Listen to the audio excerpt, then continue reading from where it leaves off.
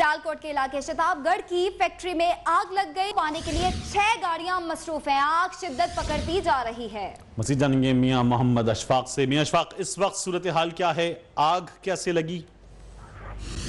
जी बिल्कुल ये सियालकोट में शताबगढ़ का इलाका है। गो की रोड पर वाक़ ये शताबगढ़ इलाका है जहाँ पर ट्रैक सूट बनाने वाली फैक्ट्री में जो है वो रेस्क्यू जराए के मुताबिक करंट लग की वजह से जो है, बिजली की वजह से आग लग चुकी है और ये आग इस कदर शदीद है कि छह गाड़ियाँ इस वक्त आग बुझाने में मसरूफ हैं, जबकि मजीद गाड़ियाँ भी जो हैं वो तलब कर ली गई हैं। रेस्क्यू जराए का ये कहना है कि फैक्ट्री के अंदर बड़े पैमाने पर लेदर और कपड़ा मौजूद है, जिस पर, जिसकी वजह से आग को कंट्रोल करने में मुश्किल दरपेश हैं, जबकि जानी और नुकसान के हवाले से रेस्क्यू जराये का ये कहना है कि चूँकि फैक्ट्री इस वक्त बंद थी फैक्ट्री बंद होने की वजह से किसी किस्म का जानी नुकसान जो है वो नहीं हुआ था। हम जब तक आग पर मुकम्मल तौर पर कंट्रोल नहीं किया जा सकता उस वक्त तक इस खदशे का इम्कान मौजूद रहेगा कि फैक्ट्री में कोई मौजूद था और उसको जो है वो आग की लपेट